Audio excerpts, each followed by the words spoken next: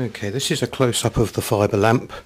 Not quite sure how well you're going to be able to see this, but um, you can see it flashes the different colours through the fibres. And I'm just going to pick up one fibre here and just show you how sharply you can bend that without any damage. It's you can certainly get that sharp. Um, this is thinner fibre than we'll be using. This is about 0.4 of a mil which is very tiny dots of light, probably more suitable for N-gauge. We're going to be using 0.75 mil, somewhere around twice. We might not get it quite as sharp.